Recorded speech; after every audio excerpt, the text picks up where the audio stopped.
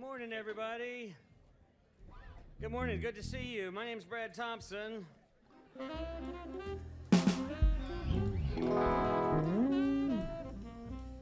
hope you're not disappointed. Um, so yeah, so Brad's out this week, and so uh, I'm filling in for Brad, and Charme's filling in for me, and so we're looking forward to a, a great morning. And I'm just going to draw your attention to a couple of quick announcements uh, before we get started. First things first, we're glad you're here, and we're especially glad if you're visiting, and I want to make sure that you sign up your cards.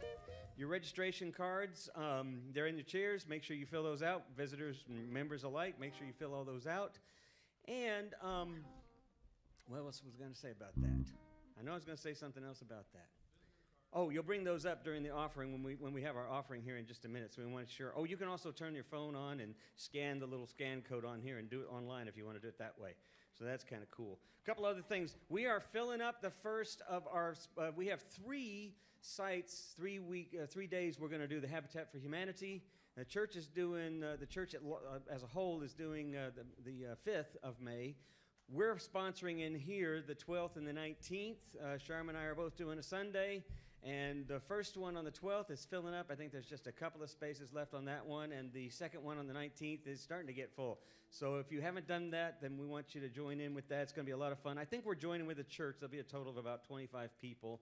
12 from our group, 12 from their group, and, and some such like that. But uh, if you've not ever done a habitat, it's a, it's a fantastic experience. No experience necessary. They teach you what you need to know on site and they have all the tools and everything. Just wear thick-soled shoes. But other than that, it's a really great experience and a great a sense of camaraderie as well as working with the people who live there.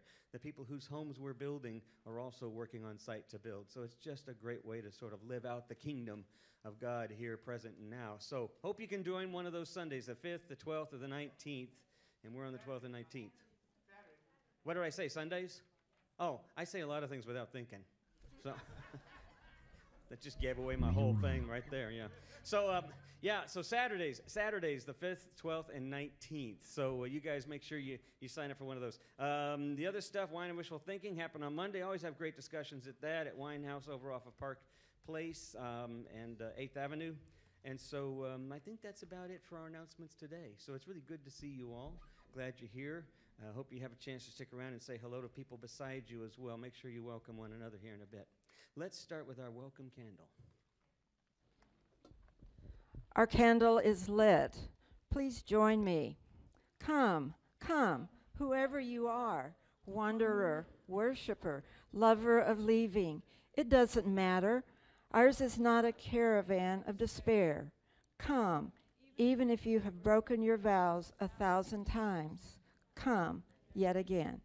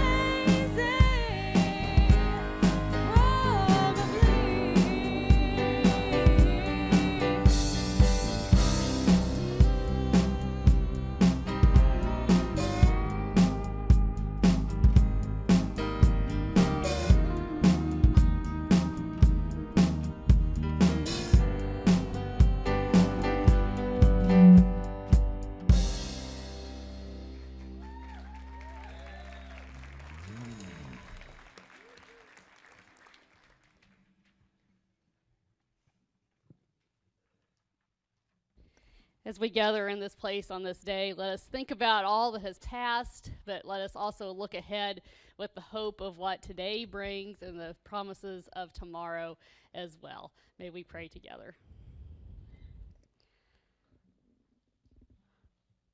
O Holy One, as we come into this place where we are surrounded by a love that truly can change the world, may we sense that yearning within that we are a part of that movement, of that change, that we are indeed partners in writing the next chapter of what is to come, in not just our lives, but in the lives of each of those around us.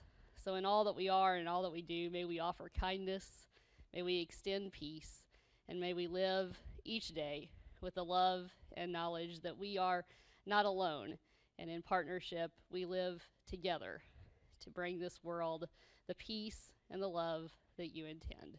We pray all of these things in the name of the one in whom we live and move and have our being. Amen. Okay, good people, let's all stand up. We're going to do a little song together here. Love will find you. It's our offering song. So if you have an offering while we're singing, bring it forward. Bring forward your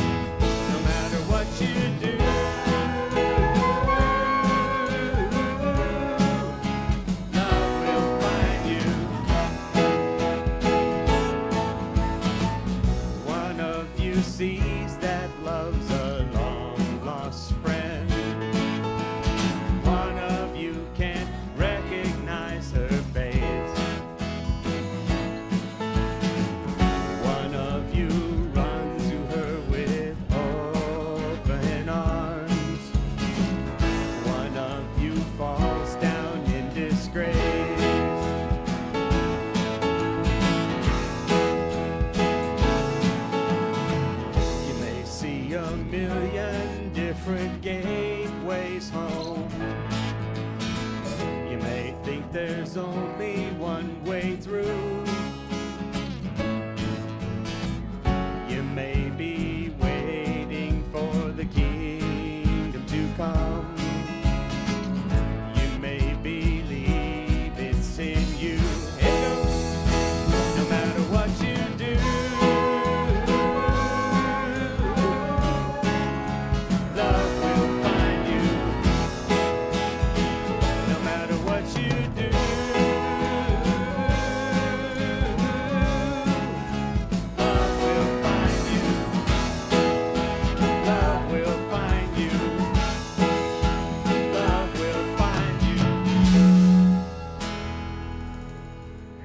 monitor right there. Watch out, everybody. Turn around, greet one another with signs of peace and welcome.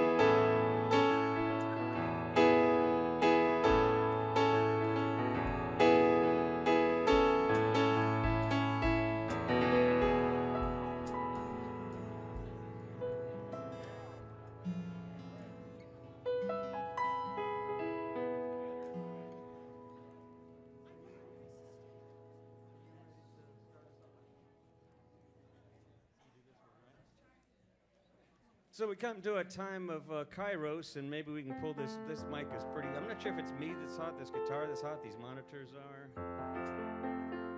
But um, we can kind of keep a hand on it back there. And Laurie's going to start us off with this wonderful song as we get ready for kairos, and you guys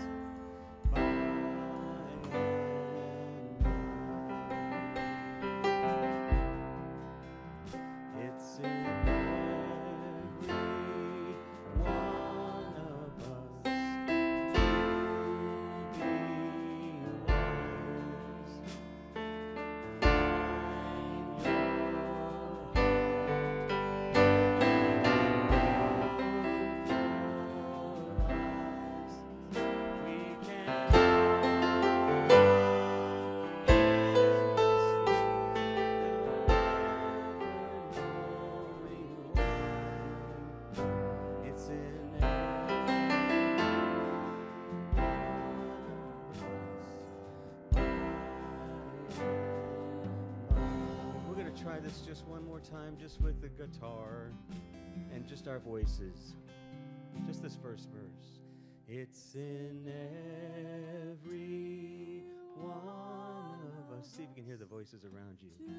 To be wise, find your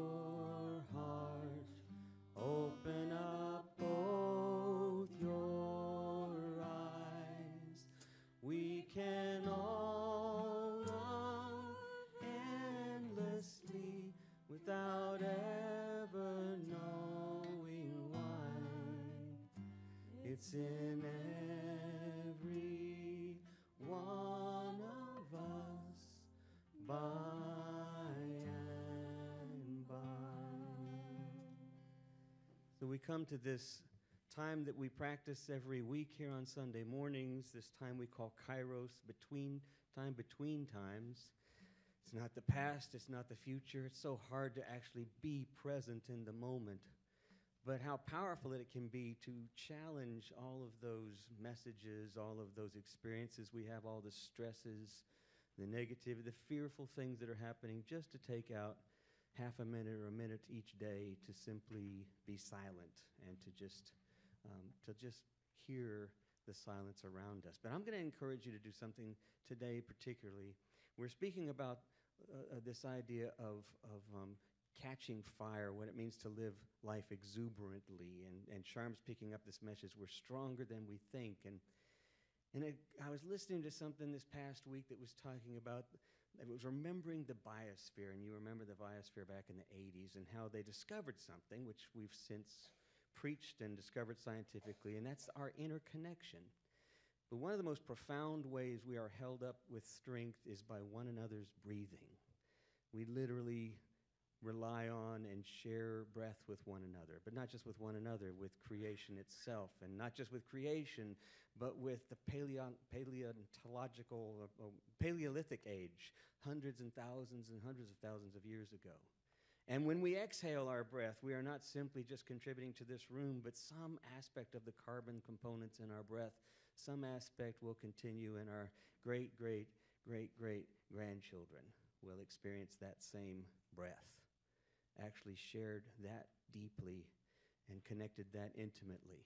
So, as you take in a breath this morning when your eyes are closed and we're just listening to some silence, I invite you just to thank, be thankful, and to take in the breath and the carbon and the oxygen that's been shared by generations before us. and that we give back to generations to come. I invite you to find a comfortable place and to just to breathe deeply for a moment.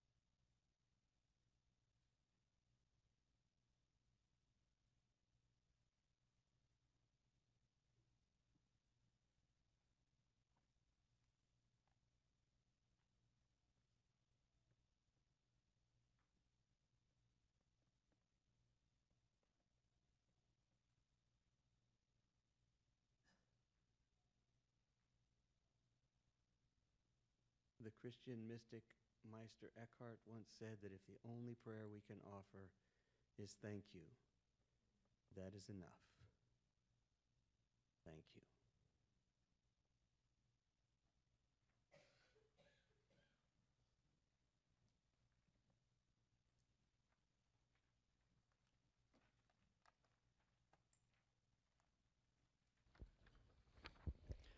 Today's scripture readings come from Ecclesiastes and um, Colossians. So the first is Ecclesiastes chapter 7, verses 8 through 12. The end of a matter is better than the, its beginning, and patience is better than pride. Do not be quickly provoked in your spirit, for anger resides in the lap of fools. Do not say, Why were the old days better than these? For it is not wise to ask such questions. Wisdom, like an inheritance, is a good thing and benefits those who seize the sun. Wisdom is a shelter, as money is a shelter, but the advantage of knowledge is this. Wisdom preserves sorry wisdom preserves those who have it. And the second reading comes from colossians chapter 2 verses 6 through 7 or 6 through 10 6 through 10 my counsel for you is simple and straightforward. Just go ahead with what you've been given. You received christ jesus the master. Now live him you're deeply rooted in Him. You're well constructed upon Him. You know your way around the faith. Now do what you've been taught. School's out. Quit studying the subject and start living it. And let your living spill over into thanksgiving. Watch out for people who try to dazzle you with big words and intellectual double talk. They want to drag you off into the endless arguments that never amount to anything. They spread their ideas through the empty traditions of human beings and the empty superstitions of spirit beings. But that's not the way of Christ. Everything of God gets expressed in him, so you can see and hear him clearly. You don't need a telescope, a microscope, or a horoscope to realize the fullness of Christ.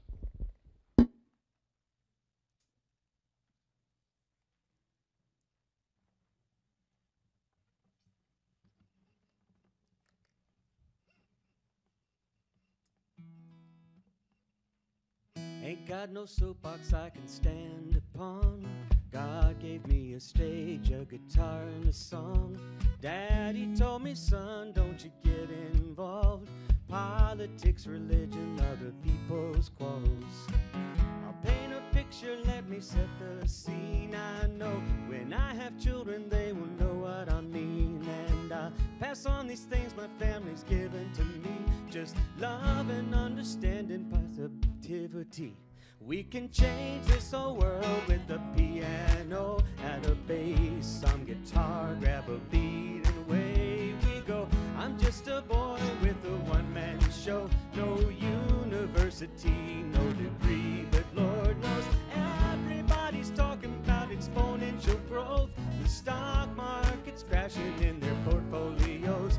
Well, I'll be sitting here with this song I wrote. Love could change the world but what do I know? Love could change the world in a moment. But what do I know? Love could change the world in a moment. Revolution's coming, it's a minute away. Saw people marching in the street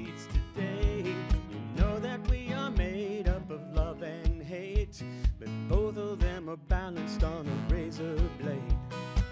I'll paint a picture, let me set the scene. I know all the people following their dream. Just re- remember, life is more than fitting in your dreams. It's love and understanding, positivity.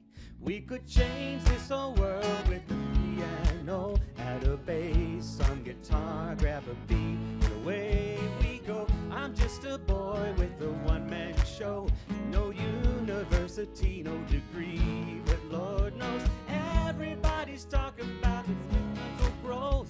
The stock market's crashing in their portfolio.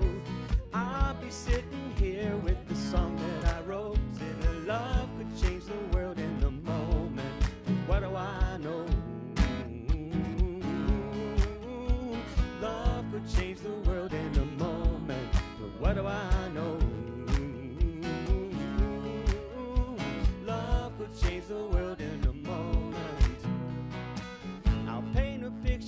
me set the scene. You know, the future's in the hands of you and me. So let's all get together, we can all be free. Spread love and understanding, positivity.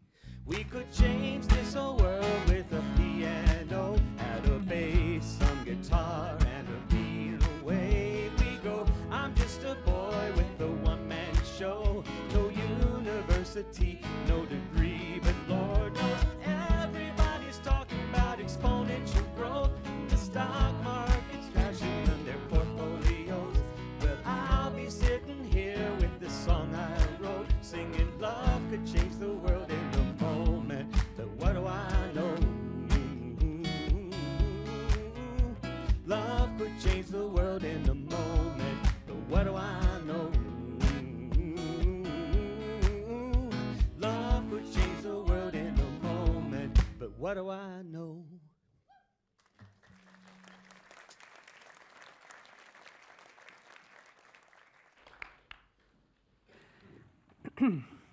Well, that's a great song. One thing I need to tell you about our songs is some of them just fit no matter what we're talking about, and I'm pretty sure that last one is one of them. However, another thing we always talk about is how that when we choose the music, we're trying to figure out how to make it fit with the yet unwritten message. We pick these, uh, these uh, songs on Monday. We have a theme, maybe, if it doesn't change by Wednesday. And so on and on it goes. But the fun part for you is you get to go home and study your bulletin and, and, and Google the lyrics if you've forgotten them and compare them to the scripture, and, and you'll see it just all unfolds. It's the way it's It's 11 11, it's how it works. I'd like to add my welcome. I'm glad to see all of you guys. Uh, some of you are back from being away, and I think I see some new faces. So stick around, let us say hello to you. I need to warn you that I have been on about a three day coughing spree, and Tom, I just didn't have the heart to call you yesterday and say, I've been coughing more than not. But I have taken some of your home rem- remedies. Many of you have offered up your recipe. This, however, is water. I'm going to try to get through it. If I have to leave, I will be back because usually I just have to cough a minute, and I don't want to do that in front of you. So here we go. Let me drink some water. so we're in week two of this new uh, series that Tom got us started on last week Catching Fire, Living Exuberantly. And we start with the book of Ecclesiastes as kind of our jumping off place. Now, you may remember that last week's passage from Ecclesiastes, from that very first chapter, is, well, kind of a downer. Now, Tom wrote about that in his blog, and I hope you'll look on the back of your program and find the URL and read that so you'll be all caught up on it. But there's method to the madness of choosing this uh, sort of a downer book and passage. So, just to tag back onto that, the first chapter of Ecclesiastes, the writer laments the continual cycle of things. He says, generations come, generations go. The sun rises, the sun sets. The wind blows from the north, it blows to the south, and around and around and around it goes. And his conclusion is, it's just meaningless. Just meaningless. Now, the version we read from last week said it's all smoke, sort of temporary, sort of a vapor. the various English versions of Ecclesiastes, and I have a, I have a slide for this next thing, guys. Uh, the various uh, versions of Ecclesiastes offer a variety of words to translate the Hebrew word hebel. Some, if you read, will say it's meaningless, meaningless, everything's meaningless. Some will say vanity, vanity. It's all in vain, this life, with all of its redundancy. Some will say something like empty. And then the version we read last week, as I pointed out, says smoke, a mist, temporary, fleeting. Okay, that's all we need that for. When I was in seminary studying Hebrew, my fellow classmates and I had a ton of fun with that word we were showing off our newfound knowledge of our Hebrew vocabulary. And so we would use this word to smack talk each other on any given to- topic. Oh, that theological insight you have? Hebel. That interpretation of that scripture, Hebel. Your win for the your pick for the Super Bowl win, Hebel, whatever. We just were so proud of ourselves for knowing that word. It is a highly nuanced word, but it carries with it also that idea of temporary and fleeting. And that's actually pretty useful to us if we read the whole book, because this book is punctuated by that word, hebel, meaningless, vanity. And the, uh, the author definitely seems to be on a negativity rant. And I'm not going to try to rub that out of the book because that would be hebel. it's there. And it's there and it means something. But it's not the only thing that's there. So, one thing I like to say about the book of Ecclesiastes is that it tells us the truth about life. Life is tough and messy and full of no solutions. There are problems that seem to be, or in fact are, intractable. They're crazy, kind of like the song we had. Those things are real, and our feelings about them are real, and to pretend otherwise would be meaningless and use- useless and stupid. And yet, there is also the idea of temporary. Our lives are temporary, our circumstances are temporary, discomfort is temporary. That bad feeling we get that things are useless is temporary. Dread and fear, despair, all of those feelings are real and usually temporary. And so, Ecclesiastes is telling us that truth about life. We feel that way, and we know that usually those are temporary feelings. Ecclesiastes tells us the truth another way, because interspersed with all of that negative stuff, all of that meaningless, are these counterpoints, counterpoints of wisdom that include what I just said that things are temporary but these counterpoints offer a different point of view that can kind of jolt us and wake us up out of the, the humdrum or the despair that we're feeling. And it can wake us up to realize that we can keep going, but not just keep going, but possibly to keep going with a sense of exuberance. Now, exuberance, like joy, can be one of those sort of um, plastic, cheap words. A little too perky, a little crazy, right? Um, but maybe if we don't think of exuberance as just bubbly like champagne, but we realize its full meaning, which really means fullness, full life, full of fruit, then maybe that idea of exuberance is a little more uh, meaningful to us, a little more realistic.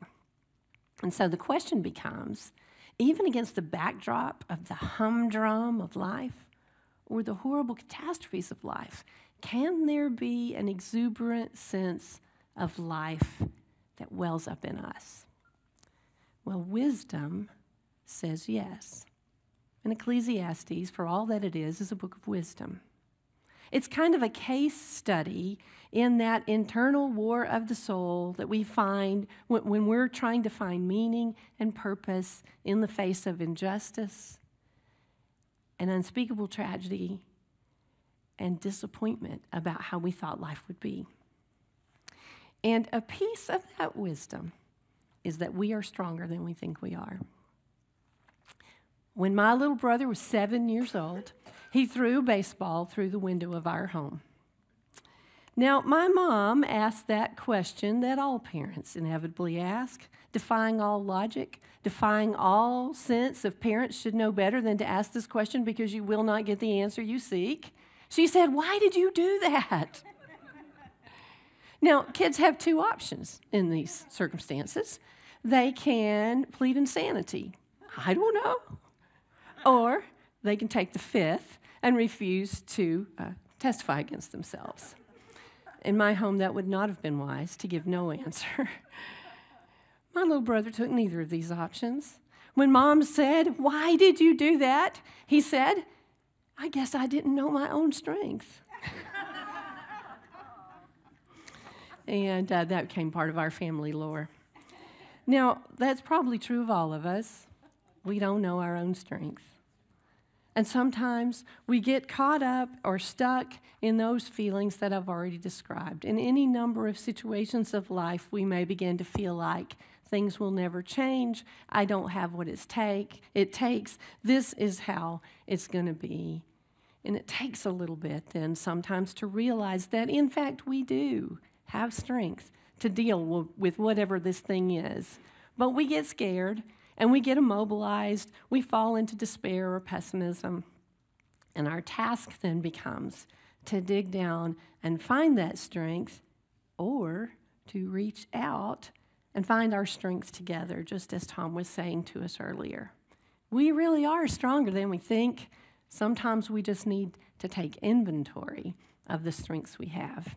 Now, all of you out there who know anything about counseling, are aware of something called strengths based counseling. And in community development, we call it assets based approach. And it's, it's just what it sounds like. The idea is to give attention to the assets and the strengths that we have to bear upon the problem at hand. And that seems obvious standing right here, right? But when we are overwhelmed and when we're discouraged and in a really tough place, sometimes it feels like we don't have any tools in the chest to work with. And the goals of that kind of treatment, if you will, or counseling, or even spiritual sharing among ourselves, the goals of that are not, it's not to make us feel more comfortable or to rub out the negativity or to relieve our anxiety necessarily. The goal of that is to help us look within and to find our own strengths, to comfort ourselves, and to know how to move forward, either individually or together. If you notice that scripture passage that Ian read earlier, uh, it says something like, I think I have a different version on here. It says something like, It's not from wisdom that we ask, Where are the days gone by? Which is another way of saying there's really not a value, a lot of value in looking to the past all the time. But we've all had that experience, haven't we? Kind of getting stuck in the past, longing for the days gone by, resisting change that's coming upon us. It seems to be a common struggle that we have. We think we want the good old days sometimes, even while psychologists are telling us that the good old days are usually some idealized version of the past. But what's important to realize, because we all look back, is that we actually have the strength to remember the good things about the past and figure out how they connect pro- con- productively to where we are now.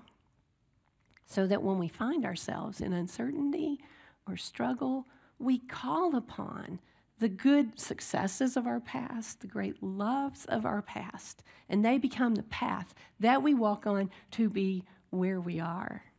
So the key is not to compare the past to the future to the present, but to see how it can serve us productively in the here and now. It's really a strength that we have. We really are strong enough to do that. And in large measure, we do it all the time without thinking about it. But when we're in trouble, when we're in difficulty, sometimes we need a little help to view it that way. I get it though. Sometimes we look backward because, frankly, what's in front of us is just too scary and stressful. Oh my goodness, so stressful.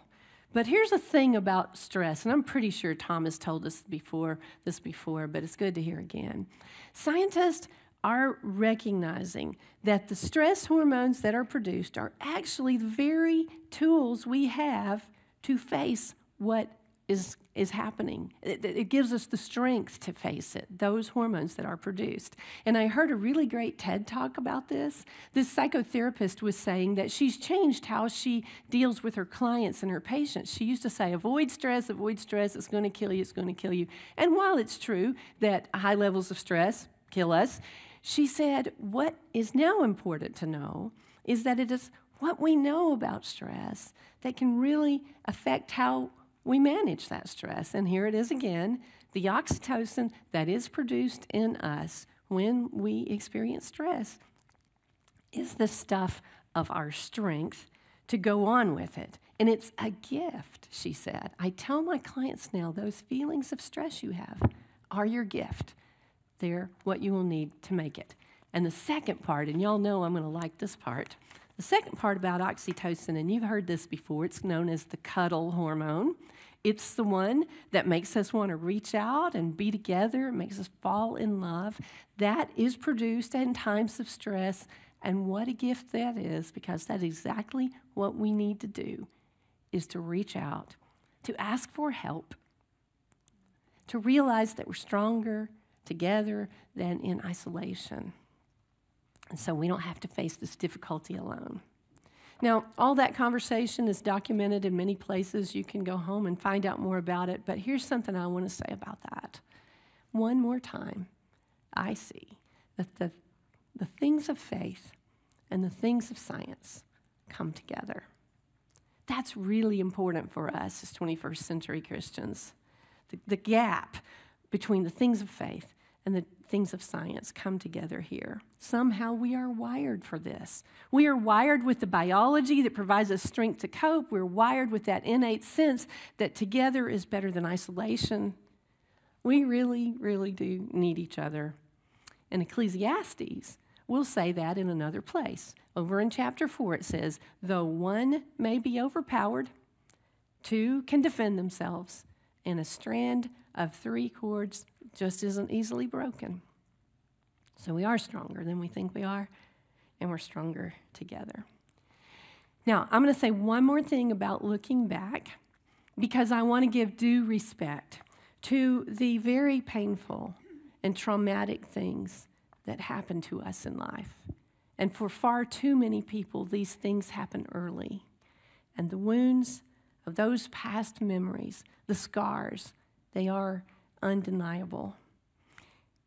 And as we walk together in this life with those wounds and scars, and I'm going to borrow from social science again, we do well to take what's called a trauma informed approach. And what that means is we look at each other no longer with what's wrong with you, but what's happened. It's not a question you ask out loud. It's something you know inside of yourself as you walk upon the earth with your fellow wounded people. Some people are really terribly wounded, and we, we must tell the truth about that. But we have tools at our disposal, and one of them is what I said this trauma informed approach, which we would say in the language of faith is to have empathy, to be a little more aware that people are hurting, people are in trouble, people are acting this way not because they're just acting this way. I'm not doing this because I'm crazy, might be wounded. And so, this way of being together is a lot more than just being nice. In fact, it holds the key for us helping each other to heal from those wounds. And the good news to me again is the stuff of faith and the stuff of science comes together like the, the arcs of a bridge when they meet. That's where the strength is, right, engineer? I actually read up on all this stuff about arches and bridges, and I was going to say something smart about it, but I decided I better not. but you know what I mean about the, the, the amazingness of how the, the weight and the, and the, the load is conveyed along the arc of the bridge, and then the weight rests on either side. What a beautiful picture of coming together of being together. And one day, Don will say that in better words. But this, to stick with my, my next to last point, which was that we must be aware of the woundedness of each other and the very real strength that we have to be empathetic. It's one of the greatest strengths we have as humans. And the best practices of the Christian faith bear that out. Well, I'm going to ask the band to come back up, and y'all ponder that important stuff while they're getting there, because I have a story to tell you to close all this out.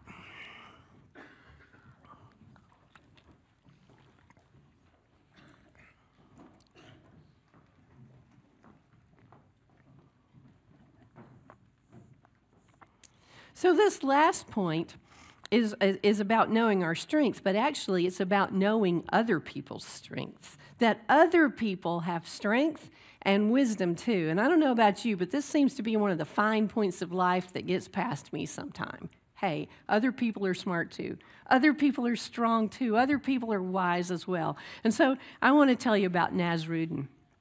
Nasruddin is the, the fool of the Sufi tradition, and one day he's walking past a cave and he sees a yogi in there meditating. And being Nasruddin, he interrupts the guy and he says, Hey, what are you thinking about? What are you meditating on? What are you seeking?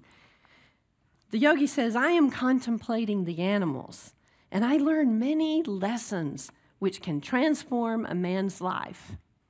Nasruddin says, Well, teach me what you know and I'll tell you what I know because a fish has already saved my life.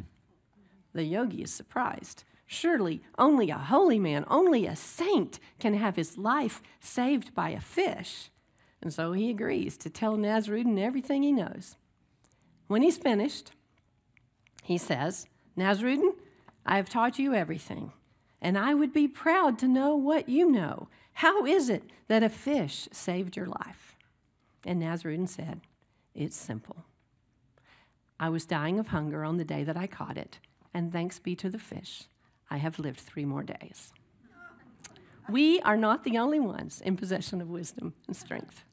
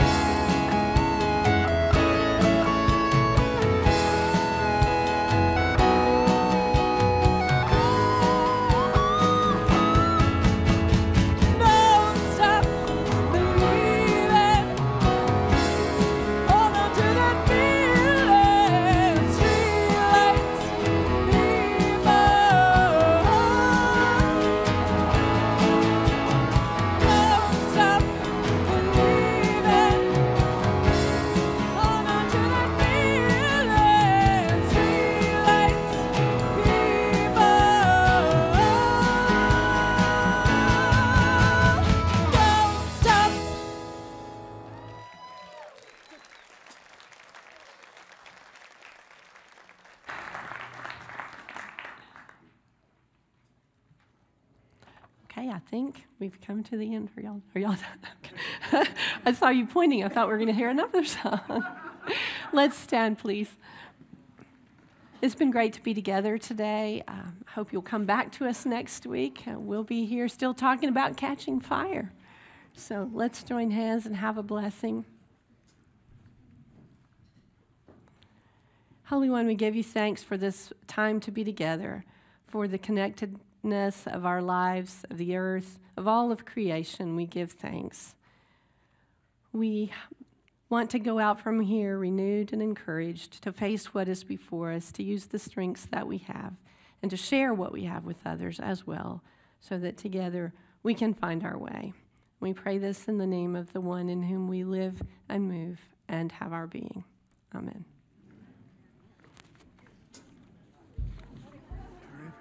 Thank you. Can you tell me? You got to talk to me about.